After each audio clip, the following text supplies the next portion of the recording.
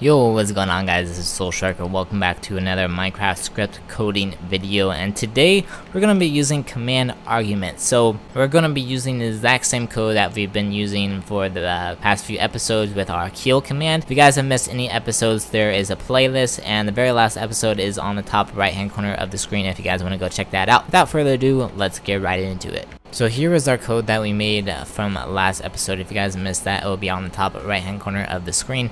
Definitely recommend uh, you guys go check out my playlist as well because it has all the has all the current videos that I've done with the Skript coding. But to get into this, what we want to do is add arguments. So there are several arguments you can have. You can have a text and players and uh, offline players and there's so many different uh, arguments that you can have with commands.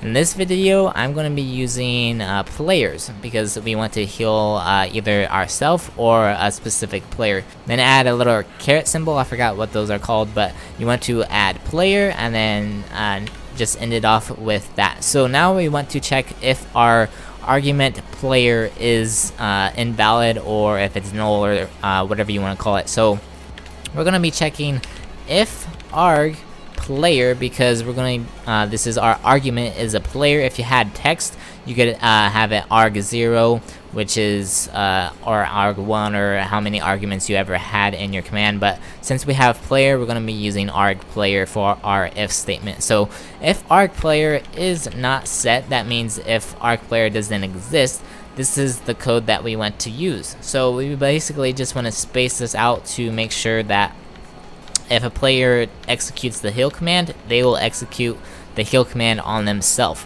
So if uh, it is set, so we're gonna do if our player is set.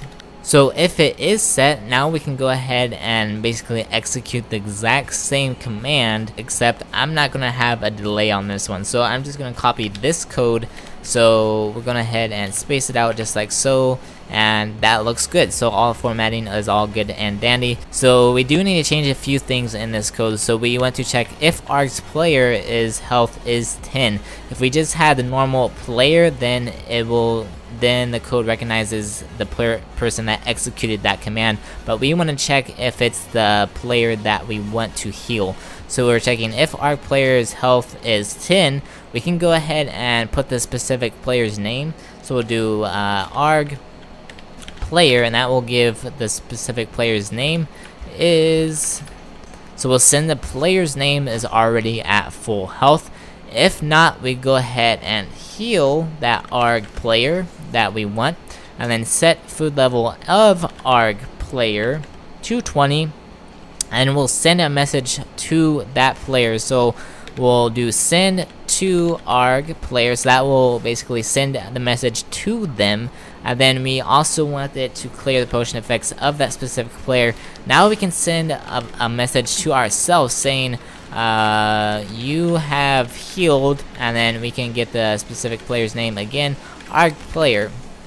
Just like so you have healed that. Now we can go ahead and save that code and let's go and get. So we'll do sk reload join to see uh, as you see our percent signs. Okay so we messed up a percent sign. What's really helpful about this uh, error coding is it tells you the line. That's why I use notepad++ plus so it's on the line 31 so if we go back over here line 31 as you see we for we actually put two percent signs so totally forgot about that so go ahead and save that now uh, we should as you see, we have successfully reloaded. So if we do slash heal, I'm already at full health. So if we do uh, GM0, we have a little bit of a delay. As you see, we still have to wait 9 seconds before executing the command because we have set the delay on our command.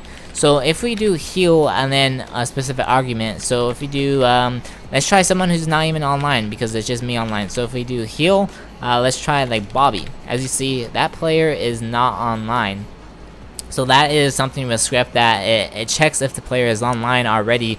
If they're not online, then it won't execute anything. And this correct usage is from our code that we put in the very beginning of our episode. As you see, this is the usage. So we can either do heal, and then we can have, uh, we'll do like a two like two brackets right here so we'll make those white actually it has two options that we can have so make sure we go ahead and save that go back in game sk reload join as you see uh, if we do heal and then someone else as you see we can either use heal or our heal player. So then if we try to heal ourselves again so let me go up top.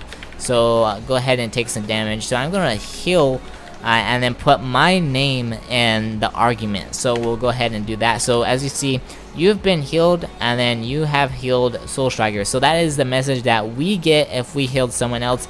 And uh, if we do it again as you see it works fantastically. So so since I'm already at full health as you see it says we are at full health. So that is what we coded in our heal plugin. So hope you guys really did enjoy. Uh, let me know if you guys have any questions down below if anything didn't work for you or whatever. If you guys have any suggestions of something that you want to see done feel free to put it in the comments down below and see you guys next time.